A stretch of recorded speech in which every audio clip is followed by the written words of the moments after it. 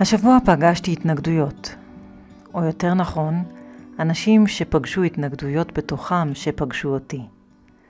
לכל אחד הייתה סיבה להתנגדות שלו, גורמים שונים, אבל תגובה דומה. וחשבתי על זה. כמה פעמים שאנחנו מוצאים את עצמנו מתנגדים בחיים. מתנגדים לחיים, יש לומר, כי אלה החיים שנגלים לנו עכשיו, ואיכשהו, זה, או מה שהם מביאים החיים איתם, באופן ספציפי, לא מוצא חן בעינינו. והיא מיד עולה, ההתנגדות. ואני לא חושבת שזה פוסח על אף אחד בחיים אלה, לפחות פעם אחת. ועניין אותי לרדת לסופו של עניין, אולי לא עד סופו, אומר בצניעות, אבל לפחות להרהר בזה. כי מה זה המנגנון הזה החתום בנו, התנגדות? מדוע הוא עולה? למה אנחנו מתנגדים בעצם? ואת מי ההתנגדות הזאת משרתת? האם היא נחוצה באמת? האם אפשר שהיא לא תופיע בנו, או האם יש תרופה למחלה הזו? נסיוב לרעל?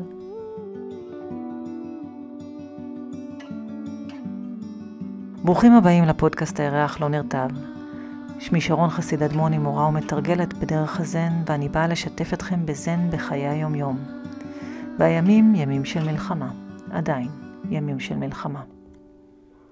ואם מצאתם ערך בפרק הזה, תחלקו אותו עם אחרים, כדי שעוד אנשים יוכלו להרוויח מהתוכן הזה.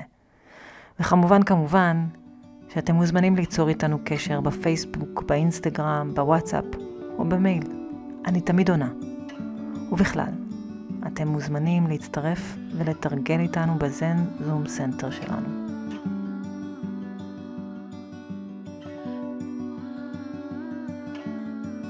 שלושה רעלים יש לתודעה, אומר הלימוד. שלושה רעלים שמערפלים אותה. והערפל הזה לפעמים סמיך, סמיך ולפעמים פחות. וכשאנחנו מזדהמים בהם, ברעלים הללו, אנחנו מזהמים את העולם. כי כל מי שבנמצא שותה מן הרעל, או שלפחות הרעל הזה מושפרץ ממנו אליו. בין אם הוא יגיב ובין אם לא, זה תלוי בהלוך הרוח שלו, באחיזות הקטנות או הגדולות שלו, וביכולת שלו להידבק או שלא.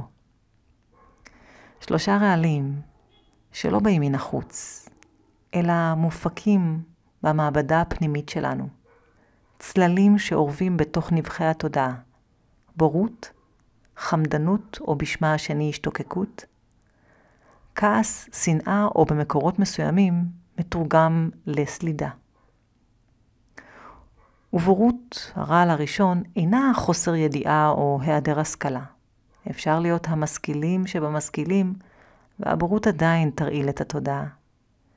כי בורות זו חוסר היכולת שלנו לראות את הדברים כפי שהם, את הטבע האמיתי שלנו, על כל הקסם שלו, ובעיקר על החופש שלו, החופש מעצמו, מהעצמי הזה שאני מזכירה כאן, רצו ושוב. זו ההאחזות בסיפורים מבלי שנבחין שאלה בכלל סיפורים, כי הם כל כך אמינים הסיפורים הללו בעינינו, ואין דבר אחר. הערפל הזה, אם אפשר לתאר זאת, הוא ערפל סמיך שלא מאפשר לנו לראות את הנוף. כי לראות את נוף החיים זה לראות שהמציאות הזו היא שינוי מתמיד, והיא נוצרת בהתהוות גומלין עם כל הדברים. ממש עכשיו, הקול שלי שמהדהד באוזן שלכם, התודעות שלי ושלכם, המכשיר שאליו אני מקליטה והמכשיר שממנו אתם מאזינים, תחושות הגוף, כולם חלקיקים של התהוות גומלין, מאפשרים את הרגע הזה. ויש את המציאות המשתנה ומתהווה בכחותה, ולמולה יש את החוויה האישית שלי. במרחק הזה שבין זה לזה, משכנו של הסבל. זהו גם המקום בו צומחת ההתנגדות. לעתים מתוך תרגום לא מהימן של המציאות, לפעמים מתוך חוסר הסכמה שלנו למה שעכשיו. ובהינף יד, בהינף יד אנחנו שוכחים את הארעיות ואת התהוות הגומלין ולא מבינים שבהתנגדות הזו שאנחנו חווים עכשיו, אנחנו יוצרים את התהוות הגומלין שעכשיו, שהיא צבועה בה. בהתנגדות הזו. כי זה מה שהנחנו שם בפער שבין המציאות לחוויה. זו הבורות והקשר שלה, לפחות חלקיק קשר, עם מה שנקרא התנגדות. כי יש היבטים שונים שאפשר להתייחס לזה. ואתם יודעים, ברע על הבורות אני מדברת הרבה, כי הוא מהותי, באמת מהותי. גם בלימוד הזה, אבל בעיקר בחיים שלנו. כמה הטיות, כמה פניות לא נכונות, כמה. ובכלל, הוא כל כך מהותי. ובגלל שהוא כל כך מהותי, אנחנו מתבוננים, חוקרים ומתרגלים בו המון במהלך הקורסים שלנו במפגשים, ונותנים לו כלים מגוונים. אולי, אולי ישתכנע בסוף לראות נכוחה. הרעל השני הוא רעל החמדנות או ההשתוקקות. אבל תרשו לי רגע לנטר מעליו אל רעל הכעס, כי את רעל הכעס הזכרתי בפרק שעבר, פרק 48, והקדשתי לו פרק שלם שעומד בפני עצמו. אחרי הכל, הוא אחד הקשים, מה שנקרא. קשה לנו לעכל אותו, קשה לנו לסבול אותו, קשה לנו להיות במחיצתו כשמישהו אחר כועס. אפילו קשה לנו להיות איתנו כשהוא פתאום מתחמם בנו ופוקע לו וריד. ונכון שהרעל כעס מקושר בקשר ישיר בהתנגדות שהזכרתי בפתיח. כי התנגדות היא, היא פנים אחרות לכעס, תלבושת אחרת. הרי שמו השני של הרעל הוא סלידה, דחייה. בקיצור, התנגדות. כי אנחנו קיבלנו משהו שלא רצינו, או שלא קיבלנו משהו שרצינו, ולכן כעס. ובתרגול הזה שלנו אנחנו מופנים פנימה, כמו שאומר תכנתן בצורה הפשוטה והמדויקת שלו. The way out is in. הדרך החוצה מהכלא הזה היא לא לשנות את הסביבה, אלא אותנו, בנו היא. ושאלה אותי אחת התלמידות בקורס שעכשיו אני מעבירה, את אומרת פנימה, לא החוצה. את אומרת זה הרגל בנו. את אומרת פיתחנו את ההרגל הזה אל מול נסיבות ותנאים. את אומרת שההתנגדות שלנו מקבעת את שהרעי משתנה וחולף. את אומרת, אף אחד לא מכריח אותנו, לא עכשיו, לא בגיל הזה, בהקשר לפחות של התרגיל שעשינו. אבל מה קורה כשזה נדרש? היא שאלה. מה קורה כשאנחנו בהתמודדות עם גורם כזה או אחר? מה קורה כשאנחנו מצויים במקום עבודה או מרחב שכזה והתנאים לא נעימים לנו, והבוס גוער או הדרישות לא תואמות, הלחץ גבוה מדי, העומס רב מדי. מקומות כאלה, שמכריחים אותנו לעשות. כאלה שאנחנו מחויבים בהם. נשואים בטבעת של הסכם עבודה ויש לנו משקל כבד וגדול של משפחה וילדים ופרנסה ואוכל לשים על השולחן. מה אז? איך עובדים עם התנגדות? האם גם אז היא רק בתוכנו? הרי יש תנאים ונסיבות שמעוררים אותה. ונכון, יש תנאים ונסיבות לכל דבר, אבל התנאים והנסיבות הללו פוגשים אותנו, שהרי אנחנו תנאי ונסיבה לא קטן שמהדהד איתם. ועדיין התנועה היא פנימה. לראות איזה כאב התעורר בנו, איזה זיכרון עלה, עדיין ההבנה שהמפתח לחופש מחוויית המחנק או המועקה שעולה בשל ההתנגדות המצויה בנו, גם כשהתנאים קשים, היא פנימה. ברפואה הסינית היינו אומרים, התנגדות מכלה בכם את התמצית, את כוח החיים. בחרת להיות במקום כלשהו, לעשות משימה כלשהי, הנח להתנגדות ועשה מכל הלב. כי ההתנגדות מכלה בך את הכוחות, מכבידה, מסבילה. ואם יש לנו התנגדות, אומר התרגול, אנחנו יכולים להבריא ממנה, לפרום אותה בתוכנו. ומיד מישהי אחרת הגיבה והקשתה. ואני אוהבת את זה, אגב, את הקושיות הללו שמסייעות לי לדייק אותי, לדייק את הלימוד עבורן. ומה אם הבוס מתעמר בנו, היא שאלה. מה אז? עדיין אנחנו יוצרות הסבל וההתנגדות? אם הבוס מתעמר בכם, אומר הלימוד, תפעלו אל מול התנאי. תיגשו, תדברו, תשימו גבול. אם צריך, תתפטרו, תעשו משהו. כי זו חמלה אגב, זו ידה מושטת של צלילות שרואה, רואה ופועלת. אבל גם אל מול התחושות שעולות בנו, שעה שהבוס מתעמר עלינו לפעול.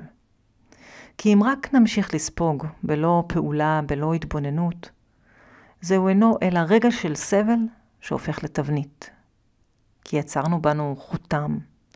סמיוג'אנה קוראים לזה קשר, קשר שלא הותר.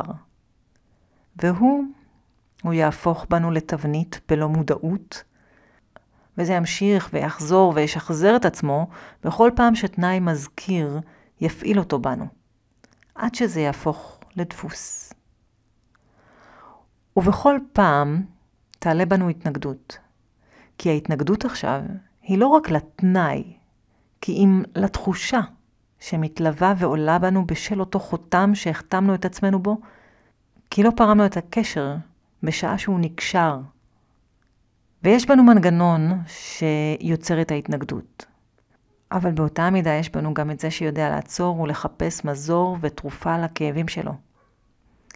האדם לא נידון לסבל. אנחנו מכווני טרנספורמציה. זוהי ממלכת בני האדם שאליה אנחנו משתייכים. ממלכת השינוי, הטרנספורמציה, הריפוי והצמיחה. יש בנו כוח חזק כזה, שכולנו מכירים, שכשקשה ומחניק, אנחנו יכולים להיחנק בזה, אבל אנחנו גם יכולים לחפש מוצא.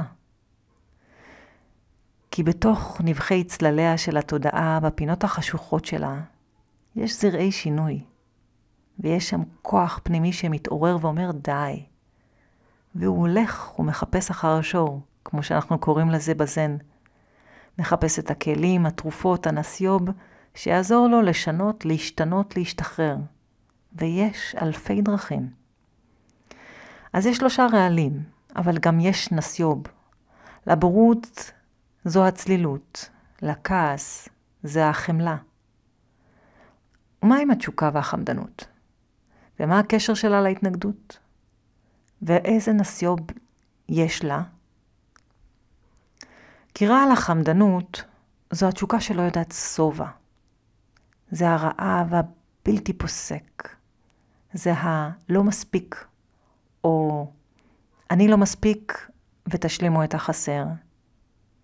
זוהי תחושת החסך, זו ההשוואתיות, ולמה לי אין, וכל היוצאים באלה. אלה הן פניה של חמדנות.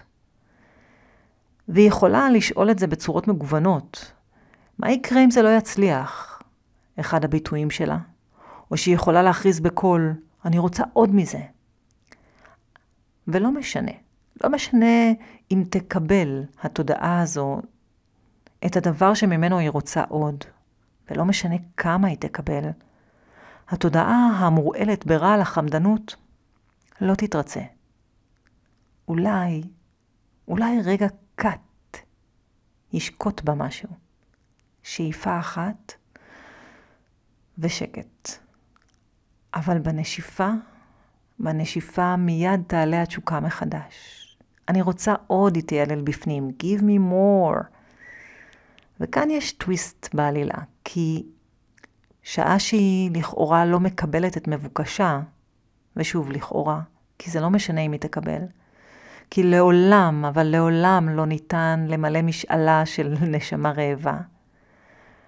אז עולה בה פתאום הכעס, עולה ההתנגדות, כמו מנגנון הגנה אל מול תחושת החסר. אם אין לי מזה, היא משכנעת את עצמה, אז אני אמנע מזה. וכך היא מהלכת בעולם ונמנעת. לא מנסה יותר, ענייה, חסרה, מרעיבה את עצמה עוד ועוד, כי דבר לא יסתפק בה. וכך היא הולכת ועולה בסולם הסבל, ואיתה עולה ההתנגדות, השליליות, ואליה, אליה חוברים הכעס והבורות. שלושה מוסקוטרים, הם אוהבים ללכת יחד. שלושה רעלים שמערפלים את התודעה, ואם היו דלילים עד עכשיו, אז הם אט אט הופכים לערפל סמיך ועבה, ואי אפשר לראות, ואין שמיים, רק עננים של חוסר ודאות, כמו ששרה דנה ברגר. אבל לשלושה הרעלים שלוש תרופות אמרנו. ומה לדעתכם תהיה התרופה לחמדנות? רגע של הרהור, עולה בכם איזשהו רעיון?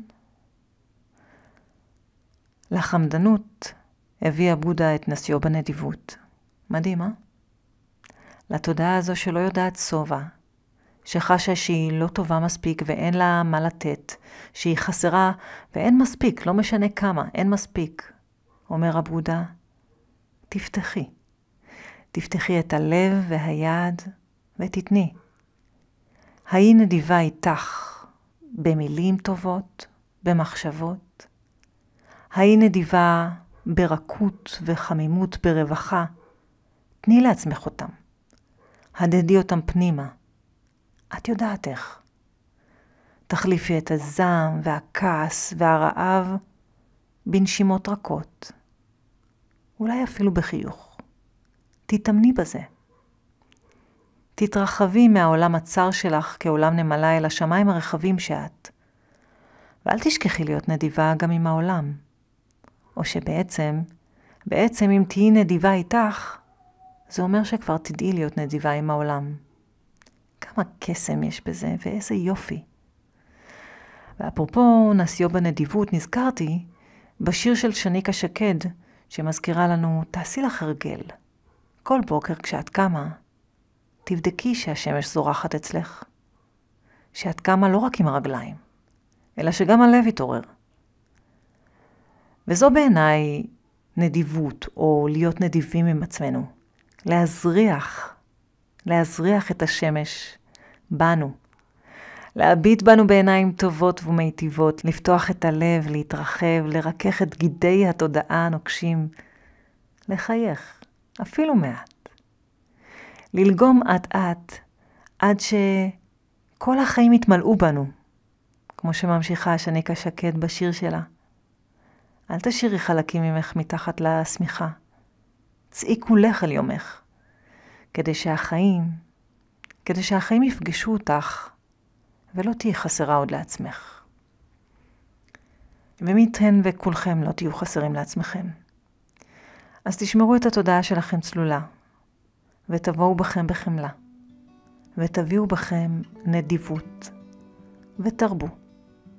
תרבו טוב בעולם. לא משנה כמה אני חוזרת על זה, עדיין צריך עוד מזה.